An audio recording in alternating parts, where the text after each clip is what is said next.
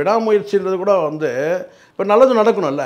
நீங்கள் விடாமுயற்சி எடுத்துகிட்டு நீங்கள் விடாமுயற்சியோடு நீங்கள் எவ்வளோ நாள் இழுத்துனீங்கனாக்கா ரசிகர்கள் வந்து தாங்கணும்ல. அஜித்தோட இந்த படம் வந்து நம்ம இந்த டீசரோட இதை பேசும்போது விடாமுயற்சி பேசும்போது சில இயக்குநர்களும் மாறணுன்ற நான். தமிழ் சினிமாவுக்கு மிகப்பெரிய சாபக்கேடு ரெண்டு சாபக்கேடு இருக்குது முதல்ல ஒரு சாபக்கேடு என்னன்னு கேட்டிங்கன்னா இவனுக்கிட்ட நல்ல கதையே இல்லைன்னு நினைக்கிறேன். ஃபஸ்ட்டு ஒன்று பேய் படம் இன்னொன்று ஜாதி படம். இப்படியான படங்கள் தான் இவனுக்கு வந்து எடுத்துட்டு இருக்கிறானுங்க கேரளா படங்கள்லாம் இவனுக்கு பார்க்குறானுங்களா? இல்லை மற்ற படம் இது சொன்னாக்க உடனே கேரளா படங்கள் நம்ம தூக்கி வச்சு பேசணும்னு கேட்டான். அங்கே வந்து பார்த்தீங்கன்னா வந்து கதையோடு இறங்குறாங்க. இங்கே இவனுக்கிட்ட முதல் கதையே இல்லை. அது ரஜித்தா இருக்கட்டும் அல்லது வெற்றிமாறனா இருக்கட்டும் யாருனா இருக்கட்டும் ஒன்று ஜாதியை பிடிச்சின்னு தொங்குறானுங்க. நல்லா தெரிஞ்சு மோகன்ஜி பேரை சொல்கிறேன் ஆமாம் அவனே சத்தம் சொல்கிறோம் இவனுக்கு சா ஒன்று சாதியை பிடிச்சி தொங்குறானுங்க இல்லைன்னா பேயை பிடிச்சி சுந்தர் சி மாதிரி பேயை பிடிச்சி தொங்குறானுங்க. எந்த காலத்தோட நீங்கள் இருக்கிறீங்க இன்னும்? சரி அப்படி தான் நீங்கள் எடுக்கிறீங்களே. இதெல்லாம் பயம் வரா மாதிரி இருக்கணும்ல. சாதியை விட்டுட்டு கொஞ்ச காலம் வந்து பார்த்திங்கன்னா அந்த படம்லாம் எடுக்காமல் மலையாள படங்களாவது கொஞ்சம் பாருங்கள் நீண்ட காலமாக எடுத்தான்னா அது வந்து பார்த்திங்கன்னா பிரம்மாண்ட இயக்குனர் அவன். ஏன்னா அவனுக்கு என்ன வந்தது? தயாரிப்பாளர் தானே தலையில் தானே மிளகா அரைக்கணும். இல்லை? அவன் பிச்சைக்காரான அவனுக்கு அவனுக்கு கவலை கிடையாது. டைரக்டரும் யார் ஹீரோவோ அவன் அந்த அமௌண்ட்டை வாங்கிட்டு போயிட போகிறான் கங்குவா படம் விழுந்ததுனால அஜித் வந்து இந்த படத்தை ரிலீஸ் பண்ணலான்ற முடிவு பண்ணிட்டாங்களா இல்லைன்னா இன்னும் கூட எடுத்துகிட்டு இருப்பாங்களா? அப்படின்னு ஒன்று இருந்தது இல்லையா? கிங்குட்ஸ் நேயர்களுக்கு வணக்கம். இன்றைய சிறப்பு நேர்காணலில் நம்முடைய இணைந்திருப்பவர் மூத்த பத்திரிகையாளர் ஷேக்வீர் அவர்கள். வணக்கம் சார். வணக்கம் சார். வணக்கம். அஜித்தோட விடாமுயற்சி டீசர் பார்த்துருப்பீங்க. எப்படி இருக்கு இந்த டீசர்? அதில் ஒரு எல்லாரும் வருது. எல்லா எல்லாரும் சொல்கிற மாதிரி கடவுளே அஜித்தே. இப்படிதான் சார். அப்படிதான் இருக்கு. கடவுளே அஜித்தேன்றாங்கல்ல. அப்படிதான் justify சொல் பண்ற மாதிரி ஆமாம் ஆமாம் ஆமாம் அப்படி என்னன்னா அந்த ஒரு வார்த்தை ரொம்ப பிடிச்சது சார். அதில் வந்து என்னென்னா அது தன்னம்பிக்கை வரின்னு தான் சொன்னேன். இங்கே பரவலாக சொல்லுவாங்க அது ஏற்கனவே நம்ம சொல்லியிருக்கிற ஒரு தடவை சொல்லியிருக்கிறேன்னு நினைக்கிறேன். அது எங்கே சொன்னேன்னா எங்கே சொன்னது ஞாபகம் இல்லை. இதுதான் நம்மக்கிட்ட ஒரு பெரிய குழப்பம். அதாவது என்னென்னா நம்ம எப்படி வளர்த்துருக்குறாங்கன்னு கேட்டிங்கன்னா பர பொதுவாக என்ன சொல்லிக்கணும்னா கஷ்டம் வரும்போது கடவுள் வந்து காப்பாற்றுவார் அப்படி தான் சொல்லியிருக்கிறாங்க. இது எவ்வளோ பெரிய ஆளாக வந்து கேட்டால் கஷ்டம் வரும்போது கடவுள் வந்து காப்பாற்றுவார் அப்படின்னா. எதிர் வீட்டுக்காரர் வருவார் பக்கத்து வீட்டுக்கார் வருவார் இல்லை மாமா வருவார் சித்தப்பா வருவார் பெரியப்பா வருவார் கஷ்டம் வருமாடா அப்படியே அவங்க வந்தால் கூட கடவுள் மாதிரி வந்தாருன்னு வாங்க எது? மனுஷனே வந்து உங்களை வந்து ஒரு நெருக்கடியில் காப்பாற்றுறாங்கன்னா கடவுள் மாதிரி வந்தார் அப்படின்னு சொல்லுவாங்க ஆனால் இங்கே என்னன்னா இந்த வரியில் எல்லாரும் எல்லோரும் எல்லாமும் கைவிட்ட போதும் உன்னை நம்பு அப்படின்னா அதுக்கு நான் புரிஞ்சுக்கிறேன். அது பரவாயில்ல எல்லாருக்கும் தெரியும்னு கேட்டிங்கன்னா இங்கே வந்து எல்லோரும் போது மனிதர்களை குறிக்குது. எல்லாமும் போது பார்த்திங்கன்னா ஒரு பொதுவான ஒரு ஒரு ஒரு தகவலாக தெரியுது. பொதுவான தகவல். யாரையும் குறிப்பிடாமல் ஒரு பொதுவான தகவலாக இருக்குது அது வந்து எல்லாமுன்றது கேட்டினா வந்து மனிதரை சூழல்களும். குறிக்காம எல்லாமுன்றது கேட்டால் எல்லா சக்தியும் கூட எடுத்துக்க முடியும். அதில் கடவுள் சக்தியை கூட எடுத்துக்க வச்சுக்கோங்களேன். சூழலும் எல்லா சூழலும் எல்லாமும் நீங்கள் நம்புகிற எல்லாமே வந்து கைவிடும் போது கூட நீ உன்னை நீ நம்புன்னு சொல்லிட்டு. அது பெரிய ஒரு வெள்ளம் வந்தது. ரெண்டாயிரத்தி பதினஞ்சு நினைக்கிறேன். ரெண்டாயிரத்தி பதினஞ்சு தானே? ஃபுல்லாக வெள்ளம் வந்த போதுன்னு கேட்டினா ஒரு குறிப்பிட்ட ஒரு இலையை வந்து சுரண்டுக்கிட்டே வந்துச்சு. ஒரு இலை இலைன்னா அந்த அரச மரம் இலை இருக்குல்ல அது சுரண்டு வந்து அப்போ நாங்கள் தண்ணியில் நான் நடந்துட்டு இருந்தேன். வீட்டு வாசலில் நல்லா முட்டி வரைக்கும் வந்து மழையில் நனைஞ்சிட்டு இருந்தேன். நம்ம மழை பிடிக்கும் மனிதன் நான். அவள் வந்து அப்படியே அப்படியே உலாத்திட்டு இருக்கும்போது வாழ்ந்துட்டு அந்த ஒரு இலை சுழண்டுருக்கு என்னடா சுழலுதுன்னு சொல்லி அந்த சொன்னா அந்த இலையில வந்து பார்த்தீங்கன்னா கிட்டத்தட்ட ஒரு ஒரு ஐம்பது எறும்பு இருக்கும். எறும்பு. எறும்பு. இந்த குட்டி குட்டி எறும்பு இருக்குல்ல நான் சொல்கிறது இந்த கடிக்கிற எறும்பு தான் அத்தனைங்க அது. அந்த சிவப்பு கலர் இருக்கும் ஒரு ஐம்பதுல ஜாஸ்தியாக இருக்கும். அவ்வளோ ஒரு ஒரு கும்பலாக இருக்குது அதுங்க எல்லாம் ஒன்றோட ஒன்று அப்படியே அணைச்சிக்கிட்டு அப்படியே அணைச்சிக்கிட்டு ஒரு அந்த இலையில இருக்குது அந்த இலை வந்து சுழண்டு போயிட்டே இருக்குது வேகமாக போயிட்டே இருக்குது அது பிடிக்கூட முடியல. அதுக்கு நான் என்ன கேட்டால் அந்த எறும்புக்கு நான். தண்ணியில் போய் நம்ம இன்னும் கொஞ்சம் தண்ணி கொஞ்சம் பக்கத்தில் போய் அதை பிடிக்கிறதுக்கு போனோம்னா இலை கவுந்துடும் அப்படியே மிதந்துக்கிட்டு அந்த சுழண்டுக்கிட்டு ஃப்ளோ ஆகுதுல்ல அதை போயிட்டே இருக்குது அப்போ நான் நினைக்கிறேன் என்னென்னா என்னென்னா இங்கே வந்து எல்லாமும் கைவிட்ட போது வந்து பார்த்திங்கன்னா உன்னை நம்புன்றது ஒன்று கேட்டினா ஒரு தன்னம்பிக்கையான வரி முழுக்க முழுக்க. அதுதான் அந்த படத்தில் வந்து நான் பார்த்தது. அதுக்கப்புறம் மற்றது வந்து காட்சிகள்லாம் வந்து அந்த மியூசிக் கூட ஒரு புதுமையாக இருக்கிறத பார்த்தேன். அந்த மியூசிக் வந்து ரொம்ப நல்லா இருந்துச்சு அந்த மாதிரி இந்த மகுடி மியூசிக் மாதிரி இருக்கு இல்லையா? அது வந்து நமக்கு அந்த இன்ஸ்ட்ருமெண்ட் பேர்லாம் நமக்கு சொல்ல தெரியாது. ஆனால் அனிருத் நல்லா போட்டிருக்கிறான். ஆனால் இந்த ஜென்ரேஷனை வந்து நல்லா புரிஞ்சு வச்சுருக்கிறான் சார். யார்? அனிருத். உண்மையிலேயே சொல்கிறேன் இந்த ஜென்ரேஷனுக்கு வந்து நல்லா யங்ஸ்டர்ஸில் புரிஞ்சு வச்சுட்டுருக்கிறான் ஒரு ஒரு படத்துக்கும் அவன் மியூசிக் போடுறது வந்து பார்த்திங்கன்னா பட் அது மனசில் நிற்குதா இல்லையான்றதுலாம் வேறு விஷயம். அது எவ்வளோ காலத்துக்கு இவன் போடுற மியூசிக்லாம் மனசில் நிற்குதா பட் அன்னைக்கு பார்க்கும்போது அந்த மியூசிக்கு இந்த ஜென்ரேஷனுக்கு வந்து ஏற்ற மாதிரி இருக்கும் இப்போ எம்எஸ்வி இளையராஜா இவங்கெல்லாம் வந்து எத்தனை தலைமுறை கடந்தாலும் சில பாடல்கள் கேட்க முடியும்னு வச்சுக்கலாம் எல்லா பாடலும் கிடையாது. குறிப்பிட்ட பல பாடல்கள் வந்து கேட்குற மாதிரி இருக்கும். பட் அனிருத் பாடல் வந்து எதெல்லாம் வந்து கேட்கும்படியாக இருக்குன்றது எனக்கு தெரியல. ஆனால் வந்து அன்னைக்கு அந்த படம் பார்க்கும்போது அந்த இசையோடு பார்க்கும்போது எனக்கு நல்லா இருக்கு. ஓகே. அஜித் இது டீசர் வந்திருக்கு. ஓகே. எல்லாருமே இங்கே என்னென்னா ஒரு படம் ஓடணுன்றதுக்காக கடுமையாக மெனக்கட்டுறது உண்டு மெனக்கட்டு நடிக்கிறது இருக்கட்டும். ப்ரொமோஷனில் நடிக்கிறதை விட அதிகமாக மெ மெனக்கட்டுறாங்க. கண்டிப்பா. இதுக்கு ப்ரொமோஷனுக்கு. போயிட்டு பேசுறது மேடையில் போய் பேசுறது இப்போ இன்டர்வியூ கொடுக்கறது அது இதுன்னு சொல்லி. யூஸ்வலாக அஜித் வந்து இதெல்லாம் பண்ணுறது இல்லை விஜய் வந்து ஆடியோ லான்ச்சில் வந்து ஒரு குட்டி கதை சொல்லி படத்துக்கு ப்ரொமோஷன் தேடிக்கிறாரு. அது ஒரு ஒரு எப்படி சொல்கிறது அரசியல் ரீதியாகவே ஏதோ ஒரு கருத்தை சொல்லி ஆ அப்போ இந்த படத்தை பார்க்கணும் அப்படின்னு ஒரு ஒரு ஒரு இன்டென்ஸை க்ரியேட் பண்ணுவார். அஜித் இது எதையுமே கண்டுக்கிறதே இல்லை. இருந்துமே அந்த எதிர்பார்ப்பு கூடிக்கிட்டே இருக்குல்ல அஜித்துக்கு? இல்லை அது திட்டமிட்டு செய்கிறாரோ அவர் இப்படி தான் இருக்கணும்னு அவர் ஏன்னா ரசிகர் மன்றமே வேணான்னு சொல்லி கலைச்சிட்டு உங்கள் இஷ்டத்துக்கு நீங்கள் வாழுங்க. நான் என் பொழப்புக்காக நான் நடிக்கிறேன் அப்படின்னு சொல்லிட்டு போயிட்டாரு. ஆமாம் இதே ஒரு டாக்டிக்காக திட்டமிட்டு செஞ்சாலுமே அந்த எதிர்பார்ப்பு இல்லை அது என்னென்னா இங்கே இதுதான். ரொம்ப ரொம்ப நல்ல கேள்வி. இது என்னென்னா முதல்ல ஒரு மனிதனுக்கு வந்து ஒரு பெரிய என்ன சொன்னால் லட்சியம் இலக்கு இதெல்லாம் வச்சு பயணிக்கிற மனிதராக இருக்கணும். ஆனால் அவர் அந்த மாதிரி அவருடைய வாழ்க்கையில் வந்து என்ன கேட்டால் ஆம்பிஷன் இருக்கலாம். இந்த கார் ரேஸு இந்த பைக் ரேஸ் இதெல்லாம் ஆம்பிஷன் ஆம்பிஷன் வேறு. பட் பெரிய லட்சியம் இலக்கை நோக்கி அவர் வந்து ஒரு வேளை நகர்ந்துருக்கலாம். அப்படி நகரும்போது அவருக்கு ஏற்பட்ட அந்த ஏற்றம் இறக்கம் இருக்குல்ல. ஒரு முறை ஏறினாரு ஒரு முறை இறங்கி விழுந்துட்டாருங்க. அதோட காணாமல் போயிட்டாருன்னு சொன்னால் பரவாயில்ல. ஒரு முறை ஏறிட்டு ஒரு முறை இறங்கிட்டு திரும்பி ஏறிட்டு திரும்பி இறங்கினா பல ஏற்றத்தாழ்வுகளை சந்தித்தாங்கன்னா அவங்களுக்கு வந்து பார்த்திங்கன்னா இது எதுவும் பெரிய ஒரு பொருட்டாக இருக்காது அப்படின்னு சொல்லி ஒரு இது இருக்கும். இப்போ வந்து சில பேர் வந்து பார்த்திங்கன்னா ஒரு குறிப்பிட்ட ஒரு ந- ஒரு பெரிய நடிகர் வராரு. அந்த நடிகரோட சேர்ந்து ஃபோட்டோ எடுத்துக்கணும்னு சில ஆசை இருக்கும். சில பேர் எதிர்க்க எதிர்க்க வந்தால் கூட பார்த்திங்கன்னா வந்து அவங்க வேலையை அவங்க பார்க்குறாங்க நம்ம வேலையை கடந்து போயிடுவாங்க இல்லையா? அந்த மாதிரி பெரிய பெரிய விஷயங்கள் இப்போ அவர் சாதிச்சதெல்லாம் பெரிய பெரிய விஷயங்கள் வந்து அவர் இலக்கு வச்சிருக்கலாம். பெரிய ஸ்டார் ஆகணும்னு ஒரு கற்பனையில் தான் வந்திருப்பாருன்னு வச்சுங்களேன் அந்த ஒரு கற்பனையில் வந்து அந்த கனவுல வந்து பார்த்தீங்கன்னா ஏற்றம் இறக்கம் நிறைய வந்திருக்கு அவருக்கு. சரிங்களா? இப்போ ஆனால் பெரிய ஸ்டார் ஆனால் இப்போ பெரிய ஸ்டாராக இருக்கிறாரு. அந்த ரசிகர்கள் வந்து வந்து இன்னைக்கு இருக்கிற வந்து இன்னைக்கு தமிழ் சினிமாவில் வந்து அஜித் எப்படி அந்த எதிர்பார்ப்பை தக்க வச்சுக்கிட்டு இருக்காரு? அது தக்க வைக்கிறதுன்னு கேட்டால் அதுதான் சொன்னேன். ரஜினி கூட ஒரு ஒரு கட்டத்தில் சொல்லியிருக்காரு நான். சூப்பர் ஸ்டார்ன்ற பட்டம் வந்து நான் எளிதாக வாங்கிட்டேன். ஆனால் தக்க வைக்கிறதுக்கு நான் ராத்திரி மகனும் கஷ்டப்படுறேன்னாரு உண்மையிலே சொன்னேன் அந்த எதிர்பார்ப்பு இருக்கக்கூடாதுல்ல சார்? இங்கே பிரச்சனை என்னன்னு கேட்டால் அஜித்துக்கு எதிர்பார்ப்பு இல்லை. எதிர்பார்ப்பு இல்லாத போதே உங்களுக்கு உங்களுக்கு ஒரு ஒரு பெரிய ஒரு இந்த விவேக் கூட ஒரு ஒரு ஆடியோ லான்ச்னு நினைக்கிறேன். விவேக் பேசும்போது பார்த்தீங்கன்னா ரெண்டு பேர் பேரை சொல்லும் போது விஜய் பேரும் சூர்யா பேரும் சொல்லும்போது பெரிய ஒரு ஆரவாரம் இருக்காது ரசிகர்கள் மத்தியில். ஆனால் அஜித் பா பேசும்போது வந்து பார்த்தீங்கன்னா பொதுவாகவே இந்த ஆடியோ லான்ச்சுகளே இந்த கூத்து இப்போ நடக்குது. என்னன்னு கேட்டிங்கன்னா அவங்க ஊர்லேருந்து ஒரு நூறு பேர் இரநூறு பேர் கூட்டு வந்துடுறானுங்க.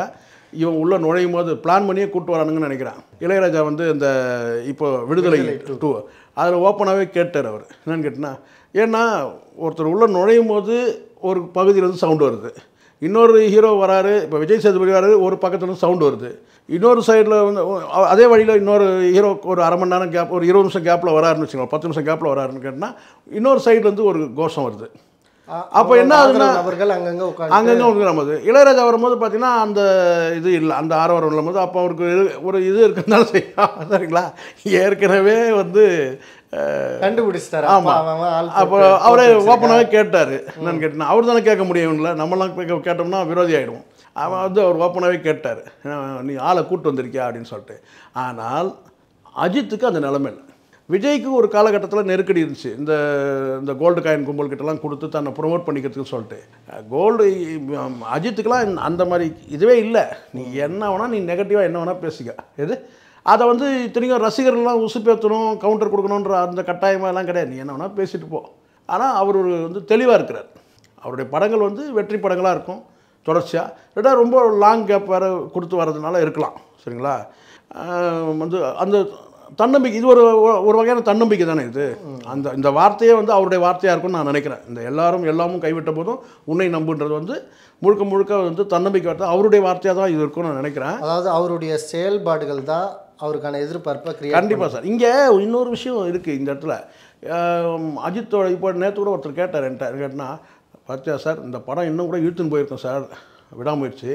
கங்காவுக்கு விழுந்த அடியில் வந்து இவங்க படத்தை ரிலீஸ் பண்ணணுன்ற முடிவுக்கு வந்துட்டாங்கன்னு. அங்கே நம்ம உள்ளே என்ன நடக்குதுன்னு நமக்கு தெரியாது. ஆனால் ஒரு ஒரு பெரிய லாங் கேப் தான் வச்சுங்களேன். அதுக்கு காரணம் கேட்டால் படம் ரிலீஸ் ஆகும்போது தான் தெரியும். இவ்வளோ நாள் ரெண்டு வருஷமாக என்ன எடுத்தாங்க? அப்படின்றது வந்து படம் ரிலீஸ் ஆகும்போதுன்னு தெரியும். இப்போ கங்குவா படம் பார்த்தோம். வந்து பார்த்திங்கன்னா உழைப்பு அபரிதமாக இருக்கலாம். ஆனால் வந்து கதை திரைக்கதை இல்லாதனால வந்து அந்த படம் வீணாயிடுச்சு. உழைப்புகள் வீணாக போச்சு தான் நம்ம வருத்தப்படுறோம் உண்மையிலேயே. ஆனால் யாருக்கும் இங்கே கொண்டாட்டம் கிடையாது. கங்குவா படம் ரிலே வந்து தோல்வி அடைஞ்சது இங்கே கொண்டாட்டம் கிடையாது. ஆனால் இங்கே இந்த சைடில் வந்து கேட்டால் இந்த படம் ரிலீஸ் ஆகும்போது தான் தெரியும். இதுக்கே இவ்வளோ லாங் ரொம்ப நீண்ட காலம் எடுத்துக்கிட்டாங்க ஷூட்டிங்குன்னு சொல்லி தெரிய வரும். ஒன்று இப்போ பொதுவாகவே இப்படி ஒரு ஸ்டைல் வந்துச்சு சார் இந்த தமிழ் சினிமாவுக்கு மிகப்பெரிய சாபக்கேடு ரெண்டு சாபக்கேடு இருக்குது முதல்ல ஒரு சாபக்கேடு என்னன்னு கேட்டிங்கன்னா இவனுக்கிட்ட நல்ல கதையே இல்லைன்னு நினைக்கிறேன். ஃபஸ்ட்டு என்னென்னா ஒன்று பேய் படம் எடுக்கிறானுங்க. அது பார்க்குறோம் நம்ம. அப்படின்னா ஜாதி படம் எடுக்கிறானுங்க. ரெண்டு விஷயம் ஆட்டி படைக்குது ஒன்றில் ஒன்று பேய் படம் இன்னொன்று ஜாதி படம். நீங்கள் ஜாதி விட்டிங்கன்னா அடுத்தது வந்து பார்த்திங்கன்னா மதம் தான் வச்சுங்களேன் மதத்துக்குள்ளேயும் ஜாதி இருக்குது அது வேறு. சரிங்களா? இப்படியான படங்கள் தான் இவனுக்கு வந்து எடுத்துட்டுருக்கிறானுங்க இதே இந்த பக்கம் கேரளா படங்கள்லாம் இவனுக்கு பார்க்குறானுங்களா? இல்லை மற்ற படம் இது சொன்னாக்க உடனே கேரளா படங்கள் நம்ம தூக்கி வச்சு பேசணும்னு கேட்டோம் அங்கே வந்து பார்த்திங்கன்னா வந்து கதையோடு இறங்குறாங்க. இங்கே இவனுக்கிட்ட முதல் கதையே இல்லை. கதையே இல்லை. கதையே இல்லாமல் கேட்டால் ஒன்று ஜாதியை பிடிச்சின்னு தொங்குறானுங்க. எவனாக இருந்தாலும் சரி. எது? அது ரஜித்தா இருக்கட்டும் அல்லது வெற்றிமாறனா இருக்கட்டும் யாருனா இருக்கட்டும் ஒன்று ஜாதியை பிடிச்சின்னு தொங்குறானுங்க. நல்லா தெரியுது மோகன்ஜி பேரை சொல்கிறேன் ஆமாம் அவனே சத்தம் சொல்கிறோம் இவனுக்கு சா ஒன்று சாதியை பிடிச்சி தொங்குறானுங்க இல்லைன்னா பேயை பிடிச்சி சுந்தர் சி மாதிரி பேயை பிடிச்சி தொங்குறானுங்க. எந்த காலத்தோட நீங்கள் இருக்கிறீங்க இன்னும்? சரி அப்படி தான் நீங்கள் எடுக்கிறீங்களே இதெல்லாம் பயம் வரா மாதிரி இருக்கணும்ல. ஒரு பேய் படத்தில் பார்க்கும்போது காமெடி படம் தான் காமெடி படம் மாதிரி இருக்குது. ஆகுனா திகட்டுற மாதிரி இந்த கிராஃபிக்ஸை விட்டு ஆட்டுறானுங்க சார். இந்த ஒரு விஷயம் ஆட்டி படைக்குது. இன்னொரு விஷயம் என்ன தெரியுங்களா? இன்னொன்று கேட்டினா இங்கே யார் வந்து இதுதான் ரொம்ப ரொம்ப முக்கியமானது. யார் வந்து நீண்ட காலமாக ஒரு படத்தை எடுக்கிறானோ அவன் தான் வந்து பெரிய டைரக்டர் நீங்கள் அஜித் இதை கதை இருக்கோ ஒரு மை. கதை இருக்காது ஒரு மைனர் இருக்காது சார் இது? அது, எ- நீங்க அஜித் படத்தை குறிப்பிட்டு இல்லை இல்லை இல்லை. நான் வந்து மகிழ் திருமணி நான் சொல்லவே இல்லை. அவருடைய படங்கள் நான் வந்து கடந்த காலத்தில் நான் பார்த்துருக்கேன் நான் வந்து ஒன்று ரெண்டு படங்கள் தடையறத்தாக்க சில படங்கள் பார்த்துருக்கேன் எல்லா படமும் அஞ்சு படமும் நினைக்கிறேன் அவர் எடுத்தது. ஒன்று ரெண்டு படம் தான் நான் பார்த்துருக்கிறேன் சொன்னேன். நான் வந்து மகிழ் திருமணி மட்டும் சொல்லவே இல்லை. இது சங்கர் கிட்ட இருந்து இந்த வியா வியாதி வந்துச்சு. அஞ்சு வருஷம் ஒரு ஆமாம் மணிரத்னம் கிட்ட இருந்து அந்த அந்த அந்த வியாதி வந்தது. என்னன்னு கேட்டிங்கன்னா நீண்ட வருஷம் ஆமாம் வியாதி தான் அது. வியாதி தான் இவனுக்கு நீண்ட காலமாக எடுத்தான்னா அது வந்து பார்த்திங்கன்னா பிரம்மாண்ட இயக்குனர் அவன். ஏன்னா அவனுக்கு என்ன வந்தது? தயாரிப்பாளர் தானே தலையில் தானே மிளகா அரைக்கணும். இல்லை அவன் பிச்சைக்காரன அவனுக்கு அவனுக்கு கவலை கிடையாது. டைரக்டும் யார் ஹீரோவோ அவன் அந்த அமௌண்ட்டை வாங்கிட்டு போயிட போகிறான் சரிங்களா? நீண்ட காலமாக எடுத்தான்னா ப்ரொடக்ஷன் இல்லை, சாப்பிட்டு ஆமா அதுதான் நீண்ட காலமாக எடுத்தால் அது பிரம்மாண்ட தயாரிப்பு சார். இது. அவன் வந்து பெரிய டைரக்டர் நீண்ட வருஷமாக எடுக்கணும். ஒரு வருஷம் ஒரு ஒரு பெரிய ஒரு வருஷம் மினிமம் ஒரு வருஷம் எடுக்கணும் ஒரு படத்தை. அவன் எடுத்தோன்னா பெரிய டைரக்டர் இங்கே ஒரு மூணு நாள் நல்லா ஒன்று புரிஞ்சுக்கணும். அதுவும் இந்த நான் என்ன சொல்கிறேன்னு தெரில அதுவும் இந்த பார்ட் ஒன் பார்ட் டூ எடுக்கிற அந்த எடுத்தாங்கன்னா அதை கையோடு முடிச்சிடணும். இப்போது ஏதோ ஒரு காரணங்கள் அரசியல் காரணம் பல காரணங்களோட சேர்ந்து இந்தியன் டூ எடுத்தாங்க. காலியாயிடுச்சு ஏன்? ரொம்ப கேப் எடுத்தாங்க. ஏன்னா இந்த இந்தியன் ஒன்று தாத்தாவுக்கும் இந்தியன் டூ தாத்தாவுக்கும் வந்து பார்த்தீங்கன்னா நீங்கள் அந்த கணக்கு எடுத்து வச்சுக்கலாம் ரொம்ப இருபத்தஞ்சி வருஷம் எவ்வளோ எத்தனை எத்தனை வருஷம் சார்? பெரிய கேப் ஒரு இருபது வருஷத்துக்கு மேலே எடுத்தாச்சு நீங்கள் இந்தியன் ஒன்று இந்தியன் டூக்குன்னா ஆனால் அதில் இருக்கிற அதே இந்தியன் தாத்தா தான் அப்படியே இருக்கிறார். இருபத்தஞ்சி வருஷத்தில் எவ்வளோ வயசாயிருக்கும் அது ஒரு லாஜிக் அதிலே அடி வாங்கிச்சு வச்சுங்களேன் அதுக்கப்புறம் காட்சி அமைப்பில் பல குளறுபடிகள் இந்தியன் டூ போயிடுச்சு. நான் என்ன சொல்றேன்னு அதிகபட்சம் ஒரு பார்ட் ஒன் பூ பார்ட் டூ நீங்கள் எடுக்கிறீங்கன்னா ஒரு லாஜிக்கோடு தான் நான் சொல்கிறேன் இதை. ஒரு மூணு மாதத்துக்குள்ளே எடுத்துருங்க. இல்லை ஒரு ஆறு மாதத்துக்குள்ளேயாவது எடுத்துருங்க. நீங்கள் இப்போ இப்போ நான் எடுத்துங்க. இதை எடுத்து நம்ம வந்து குறை சொல்லலை. இப்போது விக்ரம் இது சாரி விடுதலை ஒன் விடுதலை டூ வருது. விடுதலை ஒன் பார்த்தாச்சு நம்ம. நல்ல படம். உண்மையிலே வெற்றி வெற்றி படம் தான் அது. அதுக்கு பிறகு இப்போ நீங்கள் எடுக்கிறீங்கல்ல கிட்டத்தட்ட ஒரு ஒரு வருஷம் ஆயிடுது இல்லை சார். ஒரு வருஷம் கிட்டத்தட்ட ஆயிடுதுன்னு வச்சுங்களேன் இந்த ஒரு வருஷத்தில் கிட்டத்தட்ட ஒரு பத்து மாதத்தில் இப்போ நான் எப்படி நான் எவ்வளோ படம் அதுக்கப்புறம் பார்த்தாச்சுன்னு வச்சுக்கோங்க. நம்ம ரீகால் பண்ணோம். என்னென்னு கேட்டால் என்ன நடந்துச்சு? அந்த விடுதலை டூவில் என்ன நடந்துச்சு கடைசியில்? அதெல்லாம் நம்ம யோசனை அப்புறம் தான் வந்து இது தொடர்ச்சியாக சினிமா பார்க்குறவங்களுக்கு ஓகே. இந்த சினிமா பைத்தியங்கள் சினிமாவை சார்ந்தவர்கள் நம்மள மாதிரி சினிமா பைத்தியங்கள் இல்லை சினிமா அறிவுள்ளவர்கள் அதை வந்து பார்த்திங்கன்னா வந்து ரைட் ஓகே நமக்கு ஞாபகம் இருக்குது. இப்போ சாதாரண மனிதர்கள் பார்க்குறாங்க சாதாரண ஒரு ஆடியன்ஸ் பார்க்குறவங்க வந்து அவங்க நினைவு கூட இருக்கிறதுக்கு வாய்ப்பு இல்லை.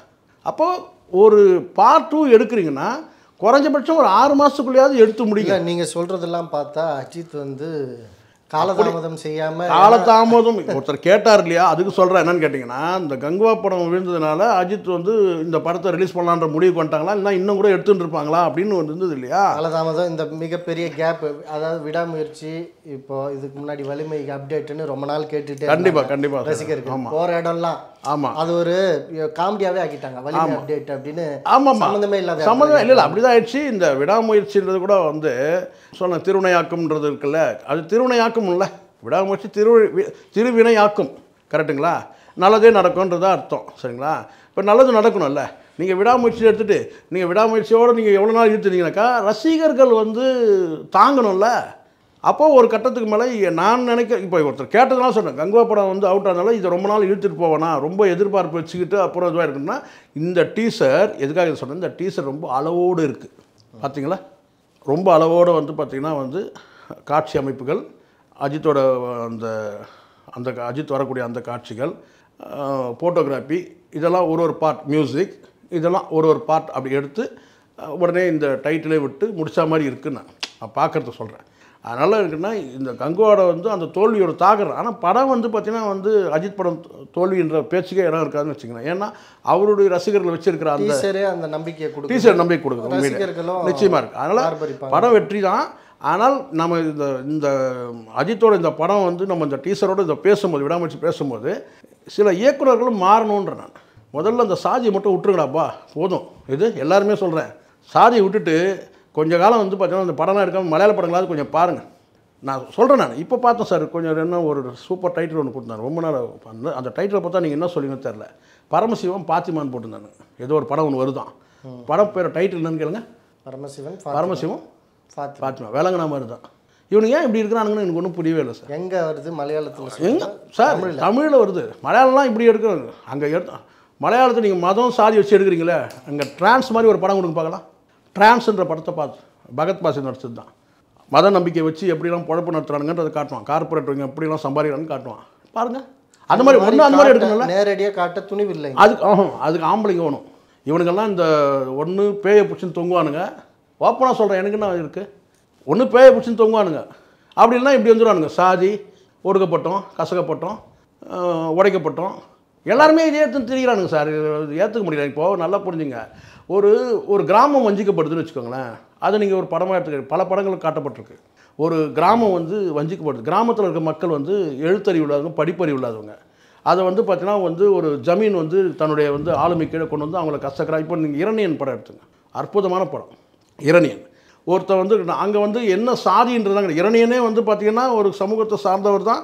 அவர் அந்த ஒடுக்கப்பட்ட மக்களுக்காக போகிறார் ஆனால் அந்த இடத்துல அந்த வசனங்கள் வந்தால் கூட ஆனால் ஒட்டுமொத்தமாக அங்கே கிராமிய மக்களை தான் காட்டுவாங்க. உள்ள கிராமத்தில் உள்ள மக்கள் பாதிக்கப்படுறாங்க. கரெக்ட் அப்படி தானே வருது? அப்படி தானே இன்னும் பல படங்கள் நம்ம சொல்ல முடியும். ஒரு அது மாஸ் ஹீரோ நடக்கட்டும் நடிக்கட்டும் இல்லை சின்ன ஹீரோ நடிக்கட்டும் முரளி தான் நடித்தார் அந்த இரணியனில் அவ்வளோ நல்ல படம். வசனங்கள் வரும். ஒரு ஆதிக்க சக்தியை எதிர்த்து பேசக்கூடிய வசனங்கள் வரும். ஆனால் அந்த படமே வந்து பார்த்தீங்கன்னா வந்து சாதிய படமாகவே நீங்கள் வந்து ஒரு குறிப்பிட்டு நீங்கள் அதை இது பண்ணக்கூடாதுல்ல. சாதி வன்மத்தை சொல்கிறது கூட நாசுக்கா சொல்லலாம் சிறைன்னு ஒரு படம் சார். அதில் வந்து பிராமண பெண் வந்து பிராமண குடும்பத்து பெண் வந்து ஒருத்தர் வந்து கற்பழிக்கிற மாதிரி ஒரு காட்சி கற்பழிச்சிடும் ராஜேஷ் தான் நடிச்சிருப்பார் அந்த ரோலில். ஆனால் அவனை வந்து பார்த்திங்கன்னா வந்து ஒரு என்ன சொன்னால் ஒரு ஒரு பட்டியல் வகுப்பு சார்ந்தவனாக காட்டாமல் மறைமுகமாக சொல்லப்பட்டிருக்கும். ஒரு கிறிஸ்தவனாக காட்டுவாங்க. அதாவது கேட்டால் இவங்களுக்கு நேர் எதிரான ஒரு இந்த மதமும் இந்து மதத்தை சாராதவன் வந்து பார்த்தீங்கன்னா வந்து பிராமண வகுப்பு சாராதவன் அப்படின்ற மாதிரி ஒரு கேரக்டர் உருவாக்கி ராஜேஷோட கேரக்டர் சிறைன்னு ஒரு படம்.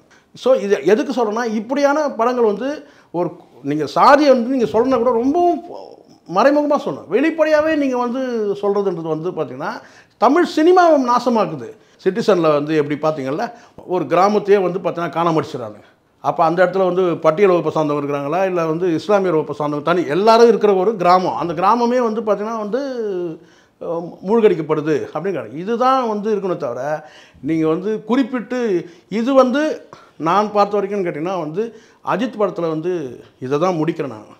அஜித் படத்தில் இப்படியான அந்த கடைசியாக ஒரு வார்த்தை சொன்னார் ரெண்டு நாள் மணி ஒரு ஒரு ஒரு வாரம் இருக்குன்னு நினைக்கிறேன். நீங்கள் வந்து மதத்தையும் நீங்கள் வந்து சாதியை எடுத்து பேசினா ஒரு வார்த்தை சொல்லியிருந்தார்ல முகம் தெரியாத மனிதர் கூட நம்ம எதிரி ஆகிடுவோம் அந்த வகையில் வந்து இந்த சாதி மதங்கள்லாம் பார்த்து போர் அடித்த நமக்கு இந்த விடாமுயற்சி வந்து ஒரு என்ன சொன்ன வந்து ஒரு நல்ல ஒரு என்டர்டெயின்மெண்ட்டாக இருக்கும்னு தான் நினைக்கிறேன்.